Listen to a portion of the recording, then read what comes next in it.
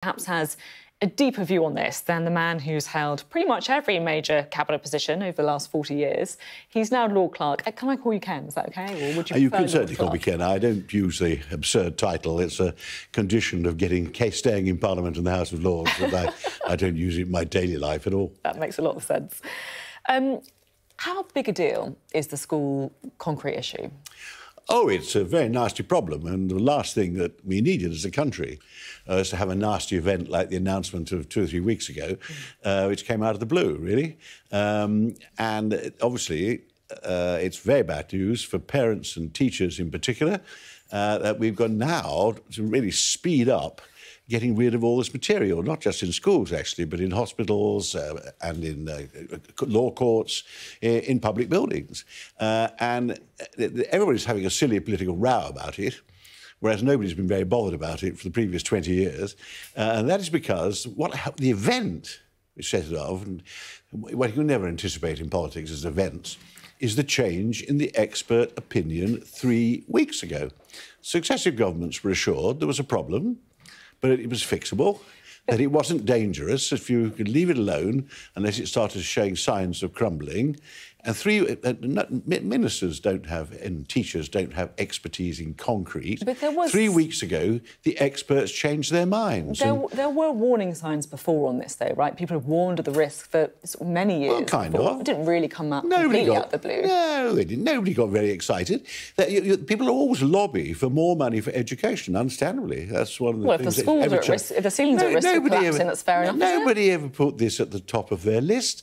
You know, you're normally arguing about teachers' pay, new schools, and but is this is that part of the problem? numbers and so on. Because you know, look, teachers' pay is obviously a, a big issue, but, but, the buildings that kids are being taught in matters as well, doesn't it? That's, that's a huge deal. Precisely, and until three weeks ago, nobody thought the the experts said the buildings were not dangerous.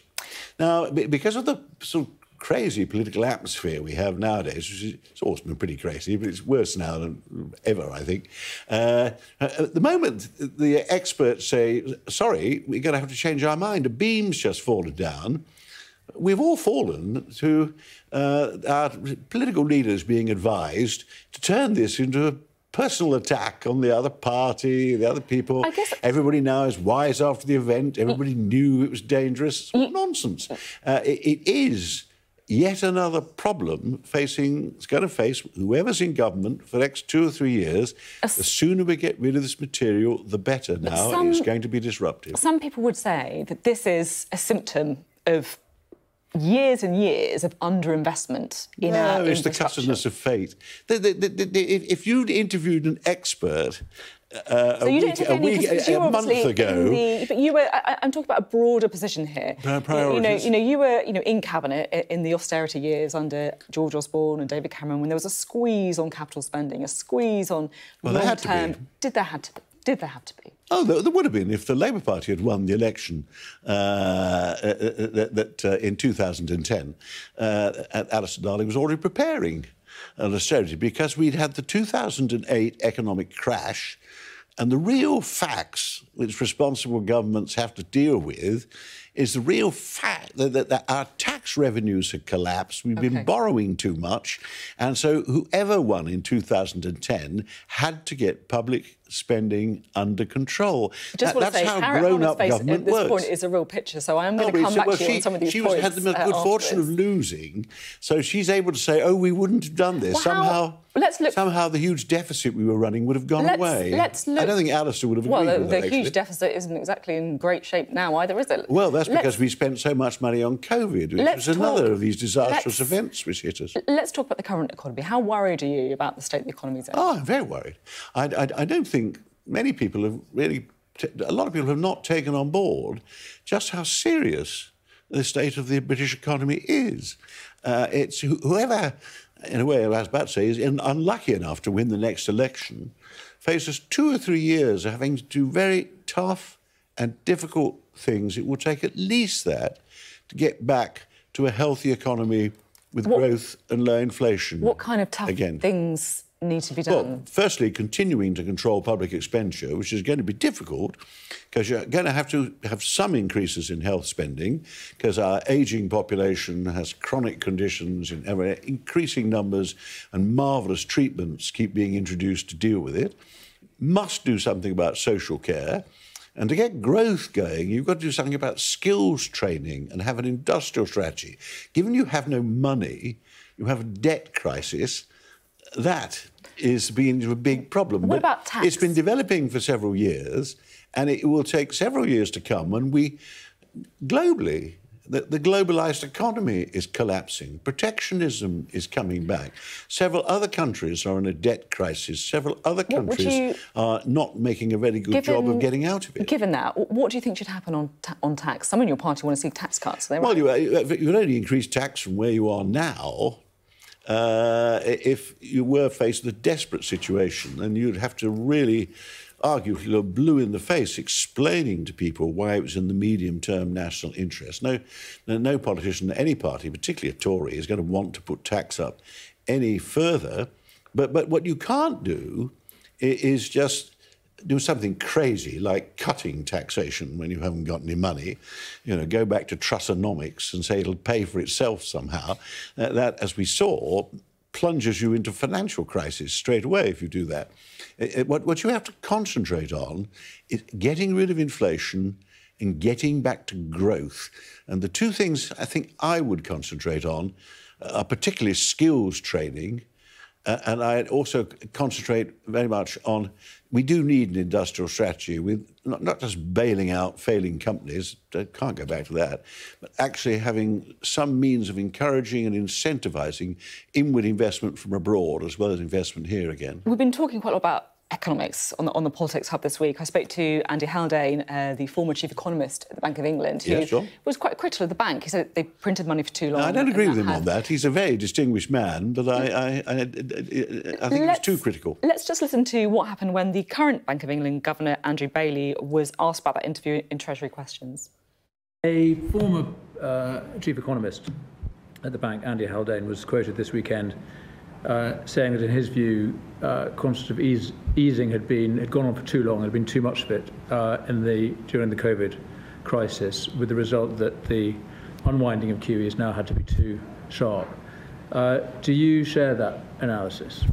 Well, Andy said, as I read what he said, and I think he was very careful to say this, that with with the benefit of hindsight or with hindsight, and that is true. Of course, he does have hindsight. Uh, as Andy knows well, because he's a former member of the MPC, we don't have hindsight at the point when we make policy decisions. We were so close. We could be like that again. I wish we could be close, but we can't. You got engaged to someone you just met. Why is everyone so hung up on that? You have no idea what your sister is capable of. Your life is in danger. There is ice in your heart. Disney's Frozen the Musical. Book your tickets now. So you've got a bit more sympathy with the current Bank of England governor then? I'm quite critical of the Bank of England, but not for the same reasons. I think they were slow off the mark. Mm. Um, uh, I actually think it was absolutely absurd. For, for example, if you want me to criticise them, uh, we you first say got, what you want. We, we, we, we first got to 10% inflation, and we still had interest rates of less than one percent. They were still going in for quantitative easing and pumping uh, money into the economy. So they weren't alone. The ECB and the Fed were a bit late, uh, but they really were okay. slow off the mark and believed all these theories that it would somehow sort itself out because the Ukraine war will be open, over in a few weeks. No. And we, we, we, it would somehow didn't need their intervention. I think what they've done since is necessary. And we've got, you can't get anywhere until you get inflation down to a reasonable level, 2 3%. Now, uh, and they've got to persist with high interest rates for as long as it takes. One last question. I think you probably won't mind me saying that you know you've seen quite a few PMs come and go. Quite a lot, yeah. I, I think one of the most I guess, honest, accurate assessments you made was when you were picked up on a microphone uh, on Sky News um, saying Theresa May is a bloody difficult woman, but you and I work with Margaret Thatcher. Um, is Rishi Sunak a bloody difficult man? No, he's a very, very nice man. But, uh, Do you I think that's a problem for him? that- Do you think he want- should be a bit I more mean, I- I difficult? gather, I think we're in a serious, serious political economic crisis, and a lot's got to go right. No more, not too many more dramatic events if we're to get out of it over the next three or four years. Don't don't think that after the election, you know, a few a few gimmicky things or get it all sorted out. It's going to be hard work, and it's not going to be popular. What governments and banks ha- ha- have to do. We're lucky at the moment uh, both sides, uh, Keir and Rishi, nice men, highly intelligent men, very serious, very responsible. Uh, they both put the national interest first. It's about time we had a prime minister again who was like that. They uh, both uh, avoid gimmicks. Uh, they're not promising too much because they know the economies in the state I was talking about. They've got no money, a- and they're therefore and you know the fact they that, that, that unfortunately their PR people are telling them to try and kick bits of each other to liven it up a bit. Let's But talk We, we have two responsible people. We'll talk a bit about that facing point. enormous problems, worse than any of their predecessors. We'll talk a bit for about that generation or two. um, later about some of that advice you were talking about. But I do want to bring in uh, Harriet Harman and Catherine Birbalsingh course. at this point as well. Um, Harriet, what, I think you'd probably disagree, uh, it's fair to say, with a bit of what um, Ken was saying in that interview. Well, absolutely. For, for a start, I don't think it did come out of the blue because I think that the first warnings were there since 2018 and it has been raised. But I think that what happened today in the House of Commons really will dismay a whole load of people. I thought when three weeks ago that um, this scandal really became very exposed about these crumbling con- concrete and postponing children coming back to school.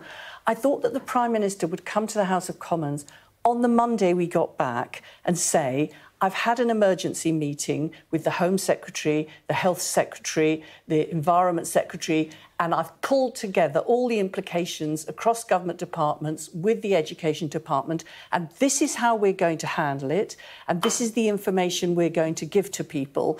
And really get a grip on it and then explain how we were going to go forward. Instead, we have him coming into Prime Minister's questions on Wednesday and saying not all schools are affected and um, Keir Starmer is just jumping on a political bandwagon and uh, doing political opportunism. And I think as Prime Minister, you've got to tell the country what you're doing about something which is a problem. And nobody was any the wiser. And I think he's got a new and very inexperienced Secretary of State for Education who seems to have bounced everybody in other government departments. So goodness knows what's going to happen in health buildings and in prison buildings and in higher education buildings. So I'm afraid this is more of the kind of shambles which, on the one hand, you know, Labour in opposition is supposed to be, you know, taking advantage of this, but it's really depressing to see that it's a shambles from a prime minister who was supposed to be after Liz Truss a safe pair of hands, but the hands don't seem to be gripping it. It was in you, um, Harriet. They're referring to a story broken by Sam Coates that she, Gillian Keegan, Education Secretary, acting unilaterally, and no one's really sure what this means for all sorts of other uh, buildings uh, in public ownership. Um, Catherine, I was quite interested by something you said to me uh, just before we came on air about the implication for kids about not going into school. Because look, we've got technology. Some people might be saying, "What's the problem? They can just learn on Zoom." Yeah, and I would disagree with that. Nothing beats a good teacher in a classroom. And children need, I always say, to be held to account. It means that you can test them in, when they're in front of you. If you're online, you can't do any of that because, well, they can cheat quite easily. In fact, they can just leave a black box up and go off and eat the dinner while you think you're actually teaching them. So, yeah, I, I do worry very much about the children who aren't in school right now, and it, it is infuriating that it's happening now at the beginning of the year when it is the most important time for children being in school. So, um, yeah, my concerns go to the families really and the children who who aren't accessing their their education. Um, I also wonder what your take is on because look, school budgets are under pressure. You know, Ken was just saying that you know there's always going to be people saying that look, we need to focus on staff wages, for example. Uh, Do buildings matter? Yes, they do matter. Um, although I take what Ken Clarke is saying, you know, you, you just can't keep spending and spending, and uh, there has been waste in the past, and so I understand government wanting to cut back.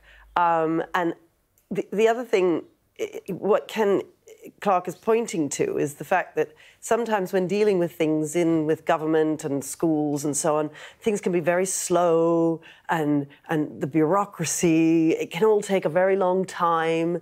And so-called experts come in and say one thing one moment and then they say another thing in the next moment. I mean, I think about asbestos at the moment, for instance, is fine apparently, and as long as you don't uh, disturb it. But what happens when in three years they say, oh my goodness, a new expert comes in and says, right, any school that has any asbestos uh, is in serious danger. Well, that might take out most schools in, in the country. I don't know. You know, it's um, it, it, he, he, I think he made a lot of good points on That's that. That's really interesting.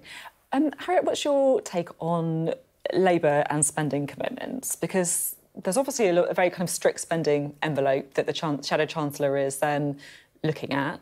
But do you think that actually Labour, do you agree with that, or do you think that actually Labour needs to look at saying that they are willing to borrow a bit more money or spend a bit more money if they do win the next election? Well, I think um, Rachel Reeves, the Shadow Chancellor, and Keir Starmer are absolutely right to give people the confidence that there's going to be fiscal, financial